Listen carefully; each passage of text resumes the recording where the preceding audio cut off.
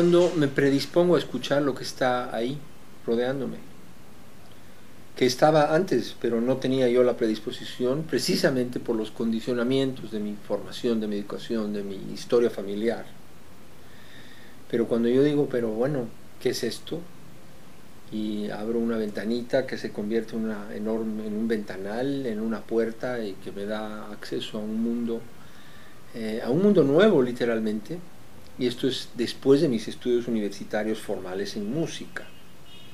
Cuando yo estuve en la católica no se mencionó ni siquiera la palabra sicus o tarca, de manera que yo venía muy entrenado en esos cánones, pero eh, con ninguna, no hablaré ni siquiera de capacidad, sino de predisposición a ver otras posibilidades.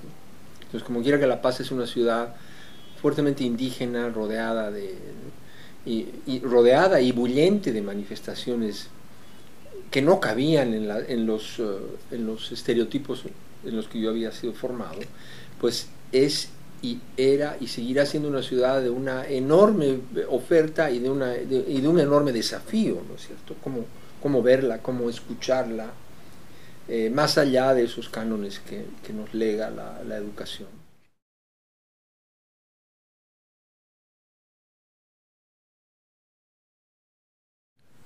Bueno, en cuanto a lo primero, lo nativo, no defiendo ahí una, denominación. Se dio porque en ese momento, en el contexto boliviano, lo autóctono como denominación había sido apropiada por un movimiento, una tendencia con la que yo no sentía ninguna identificación. ¿no? Pero podría ser aborigen, nativo, autóctono, lo que quieras. Lo, lo que importa más que la denominación es precisamente eso, la cualidad de referente que pasa a constituir para un propósito. ¿no? Eh, lo experimental, efectivamente, es, un término que nos han robado también, ¿no? como propio de esa perspectiva de la tecnología y de la innovación y de lo nuevo desde el proceso histórico de la larga línea europea. ¿no? Pero se puede experimentar con esos instrumentos también y es justamente es el, el origen. ¿no? Cuando yo escuché conscientemente en vivo y directo a un grupo, una tropa de Tarca, y dije, pero estos sonidos son extraordinarios, y dije, mucho de lo que eh, el proceso europeo está descubriendo como innovador en términos de sonoridad, de construcción de temporalidades, está aquí, pero no puede ser. ¿no? Entonces dije, algo más pasa aquí, y empecé a indagar de esa manera, ¿no? Por eso insisto que lo fundamental es la, predisposición.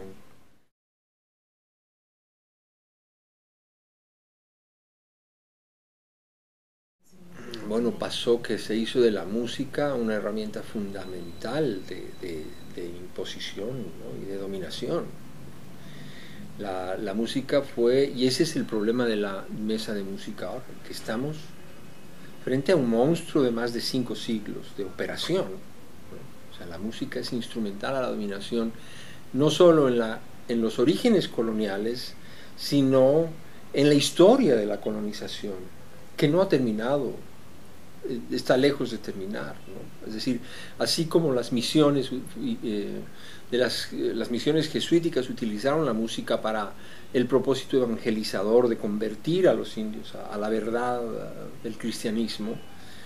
Eh, hoy se hace exactamente lo mismo de diferentes maneras a través de diferentes programas y recursos de, imposición, no ha cambiado nada.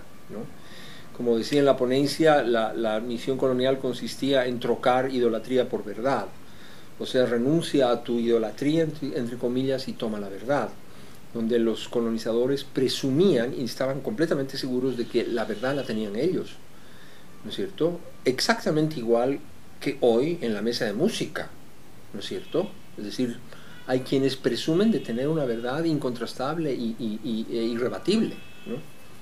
Entonces sí, la música ha jugado y juega un rol determinante en la medida en que es un lenguaje, y un lenguaje es un transmisor de pensamiento. Y a través del pensamiento eh, si, logramos que una persona asuma un, lenguaje, está también asumiendo ese pensamiento. Y por esa vía pues se puede destruir algo y construir otra cosa, que es exactamente lo que ha pasado y lo que está pasando.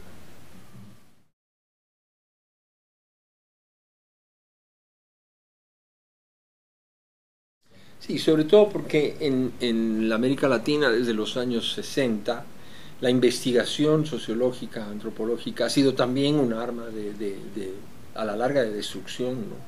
Mucha investigación ha sido instrumental a las, a las, posteriores formas políticas de dominación que se ha ejercido sobre nuestros países, nuestros pueblos.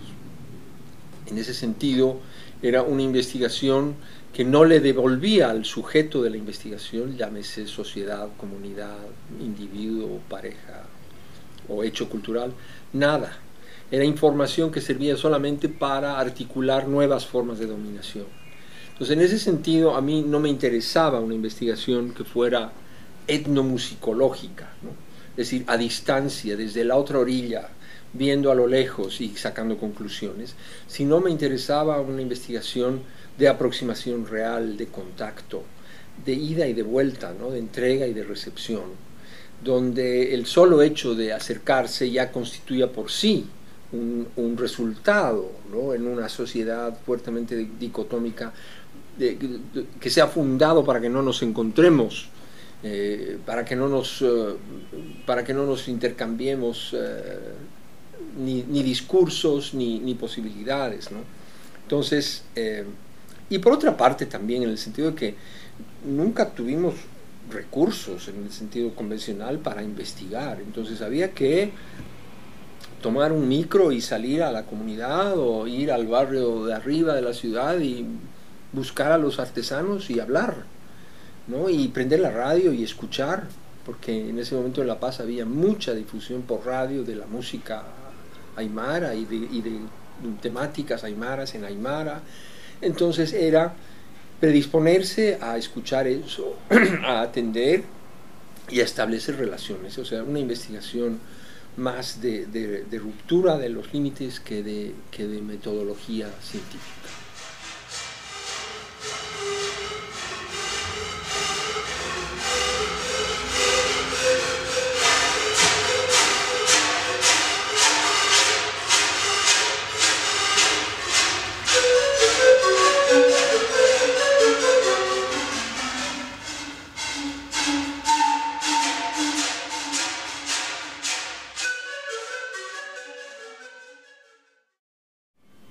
Definitivamente, pero con una aclaración, que la descolonización es una consecuencia.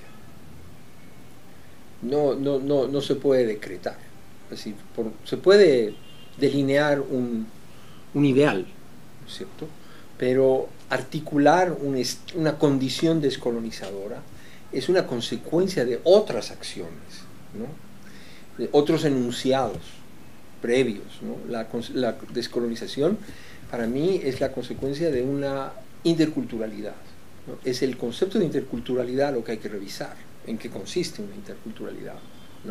Yo personalmente creo que consiste en, la igualación del diálogo, en la nivelación, que suena muy fácil decirlo, pero es tremendamente difícil aceptarlo. La mesa de música lo ha, lo ha constatado, digamos.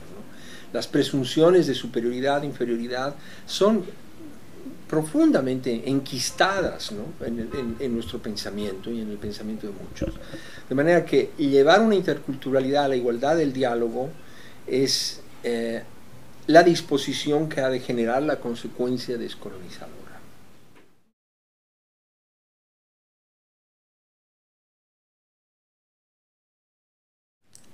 Bueno, ahí me das alas para decir otras cosas.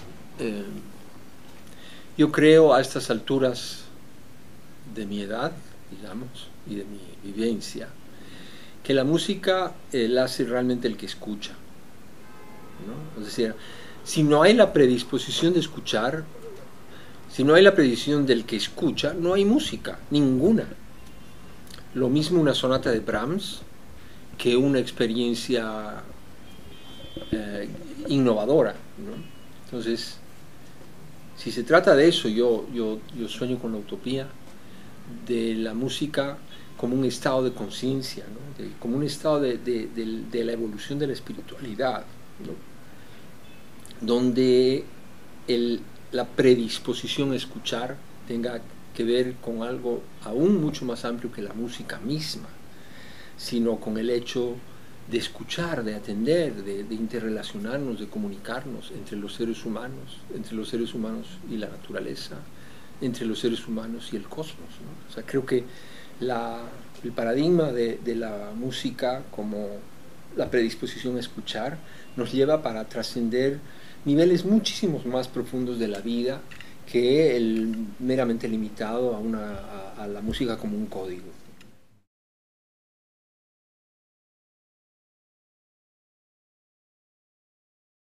Bueno, eso es tan ajeno a Occidente, porque Occidente ha desanimizado todo y menos mal en el mundo se han conservado culturas animistas que tienen una relación espiritual con las cosas, con los objetos, con las piedras, con la montaña, con el agua y, como no, con el sonido y, como no, con los instrumentos. Eh, si hay algo que me ha, a lo que me ha convertido mi aproximación a las músicas indígenas de, Bolivia y otras, es precisamente eso, ¿no? la comprensión del sonido como un ánima, como una energía, y como tal, con un, nivel de impacto sobre nuestra condición de seres eh, físicos y seres espirituales. Si, si hay música para para pedirle a la tierra que, nos dé una mejor cosecha y que efectivamente nos dé, y hay sonidos con los que se pueden comunicar con, seres de, de, otras dimensiones de la vida, cómo ese mismo sonido no va a incidir sobre nosotros en nuestra configuración y en nuestro estado.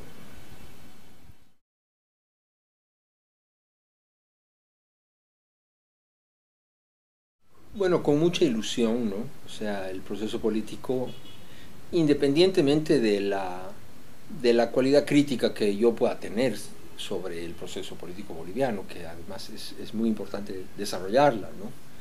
Eh, sin embargo, en lo esencial es, un proceso que además consideramos nuestro, nuestro en un sentido de colectividad muy amplia.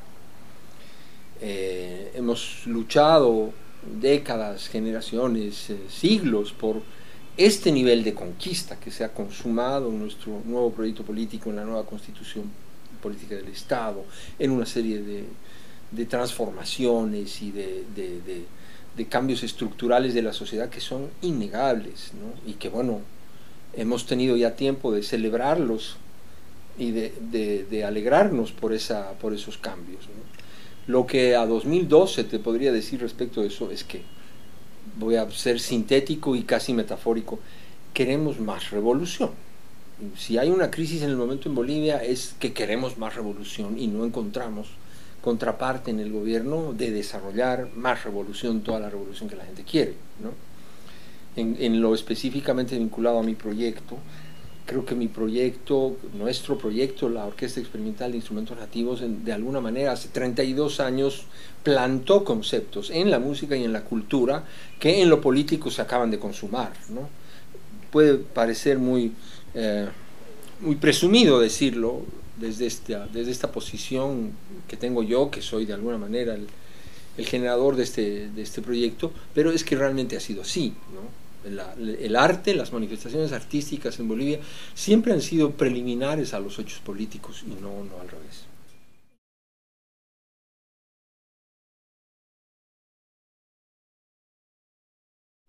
En Bolivia particularmente, ¿no? es, eh, es un espacio de resistencias extraordinario que se explica en muchas cosas. Primero, y antes que nada, en la potencia cultural de, estos... Eh, de estas sociedades, que, traen una acumulación milenaria de, conocimientos, de sabiduría, que les ha permitido eh, enfrentar la situación de confrontación, de conquista y coloniaje, ¿no es cierto?, con gran sabiduría, ¿no?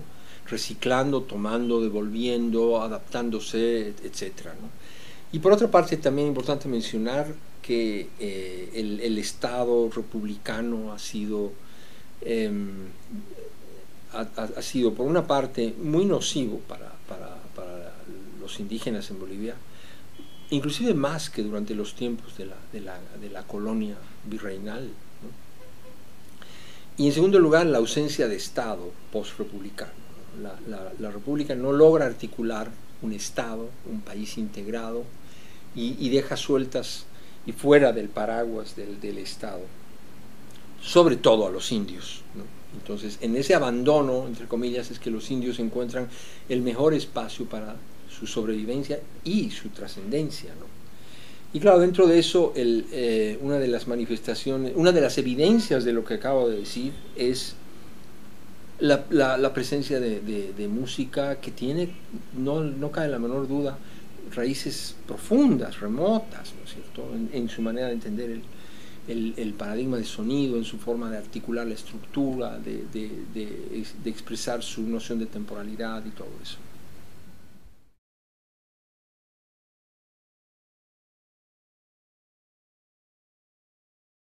Sí, que no es negar, eso es importante, ¿no? Es decir, eh, esa desconstrucción tiene que ver con admitir que las herramientas del análisis que la formación académica te da no siempre son suficientes para la comprensión de otra fenomenología. Ese ha sido mi mayor aprendizaje, cuando tú te das cuenta que en el do, re, mi, por decirlo eh, como ejemplo, no caben órdenes de organización de las alturas, entonces tienes que renunciar al dormifasol y tienes que empezar a ver con otros ojos. Pero si persistes en ver un hecho con, con los anteojos que tu formación te ha dado y aunque no quepa en, tu mirada el hecho, igual lo conviertes o lo limitas a las fronteras de tu, de, tu visualidad, entonces estás simplemente imponiendo una manera de ver. ¿no? En ese sentido he, caminado mucho y creo que sigo caminando, sigo viendo que hay cosas en las que eh, hay una enorme limitación de pensamiento que no me permite entender eh, cierta fenomenología acústica o espiritual o sonora específicamente. ¿no? Entonces, eh, sí, definitivamente hay que, hay que desandar en cierta medida.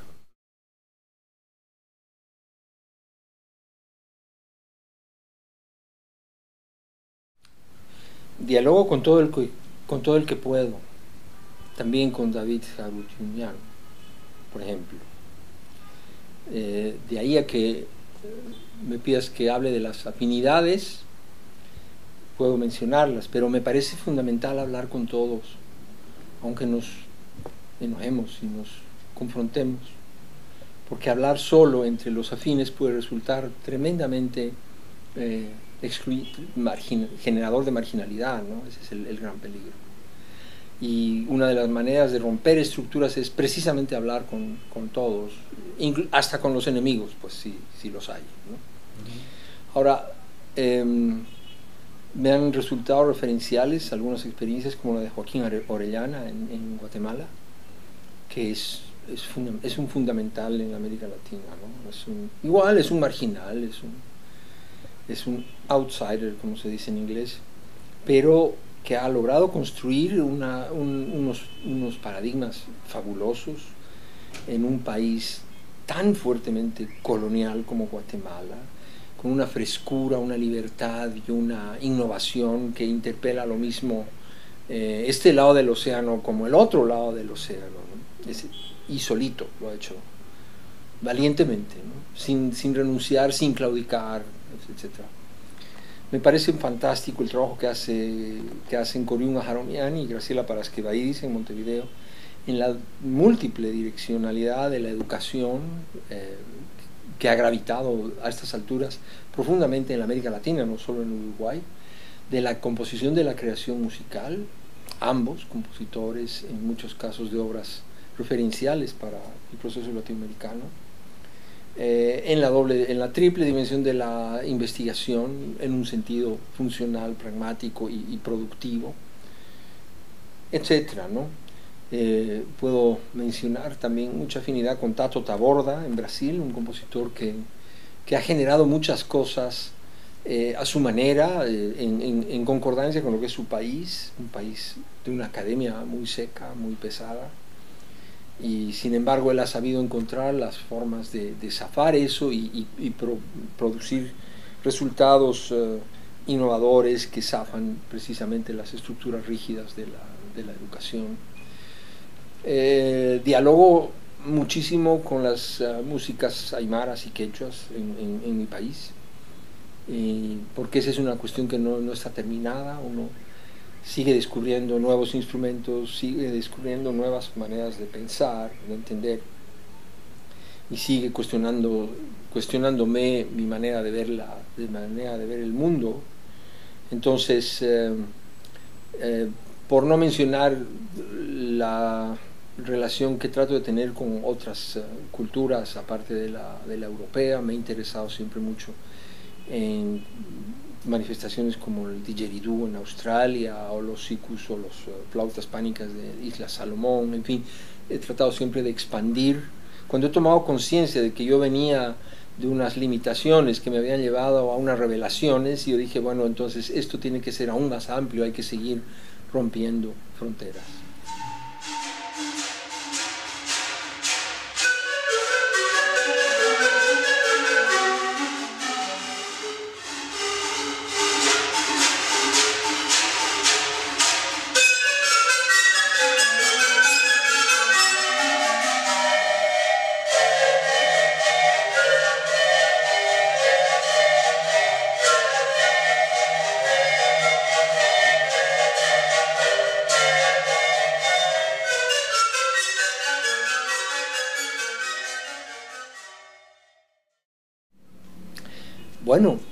Es probablemente una debilidad del, enunciado. la respuesta a tu pregunta sería, porque yo venía de estudiar dirección de orquesta no sé cuántos años y de ejercitar la dirección de orquesta no sé cuántos años. Entonces formaba parte de mi haber formativo. Eh, aún así he logrado que se pueda estructurar una orquesta de otras maneras. Digamos, la OEIN no es una orquesta seccionada, sino es una orquesta modular.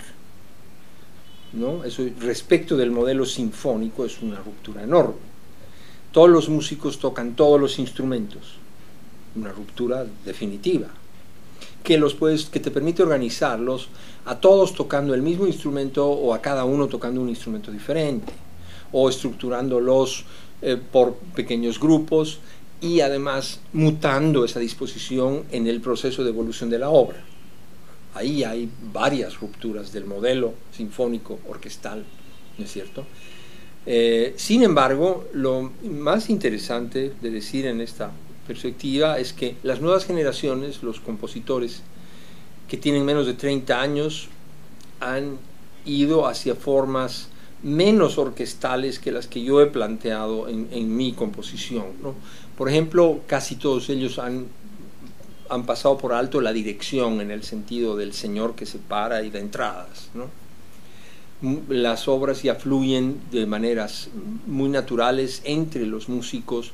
Hay un proceso de montaje y de dirección a la manera del teatro, si se quiere, pero ya no hay esa intervención tan, tan unívoca y autoritaria del director lo menciono porque es un, son, es un buen ejemplo de, análisis de cómo en la orquesta ciertas nociones que heredamos de una, de una perspectiva colonial se han insertado, han sido absorbidas en su, en su parte positiva y también han sido transformadas.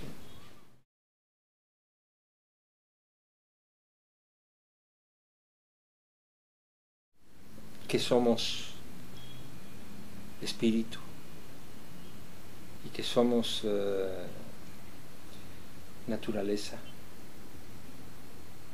y que somos eh, tierra y que somos eh, hermanos.